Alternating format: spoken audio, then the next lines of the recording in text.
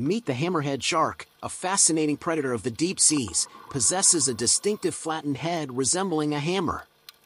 With wide-set eyes on its cephalofoil, it has a 360-degree field of vision, making it an exceptional hunter.